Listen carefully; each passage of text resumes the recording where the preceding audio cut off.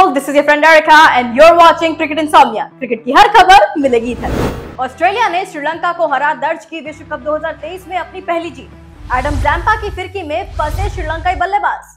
क्या श्रीलंका के कप्तान शनाका का चोटिल होकर बाहर होना लंका को खल गया? चलिए जानते हैं इस वीडियो में क्या हुआ कल के मैच का हाल। वर्ल्ड कप 2023 का चौदवा मुकाबला लखनऊ के एकाना स्टेडियम में खेला गया। ये मुकाबला श्रीलंका और ऑस्ट्रेलिया के बीच में था, जिसमें श्रीलंका ने टॉस जीतकर पहले बल्लेबाजी करने का फैसला किया। श्रीलंका के लिए ओपनिंग करने आए पाथुम निशंका और कुशल परेरा।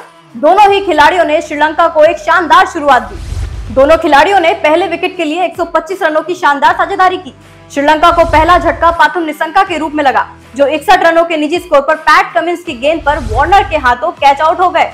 जिसके बाद आए कुशल मेंडिस। निशंका को आउट होने के बाद कुशल परेरा ने तेज गति से रन बनाने शुरू किए।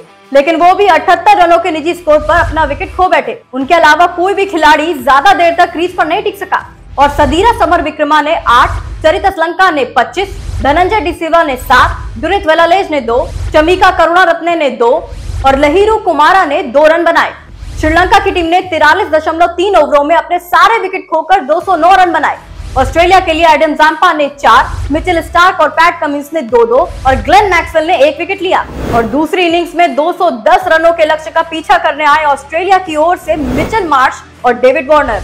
ऑस्ट्रेलिया की शुरुआत कुछ खास अच्छी नहीं रही, और उन्होंने अपना पहला विकेट 24 रनों पे खो दिया, जिसके बाद आए स्टीव स्मिथ भी अपना खाता नहीं खोल सके, और दिलशान मधुशंका का शिकार बने।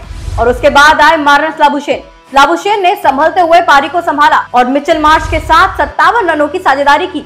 मिचेल मार्च बावन रनों के निजी स्कोर पर रन आउट हो गए, जिसके बाद आए जॉश इंग्लिस ने लाबुशेन के साथ मिलकर पारी को संभाला और पारी को आगे बढ़ाया।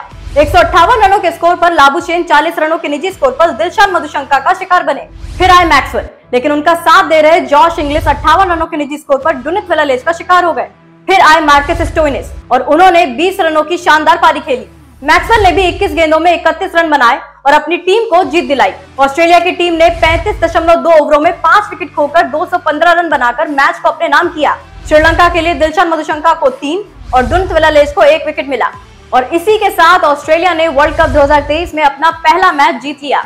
वहीं श्रीलंका की टीम का खाता भी नहीं खुला है। और इसके साथ ही आपको बताते चले कि अब आज वर्ल्ड कप में साउथ अफ्रीका और नेदरलैंड्स के बीच मुकाबला खेला जाएगा। ये मुकाबला धर्मशाला के एच स्टेडियम में खेला जाएगा।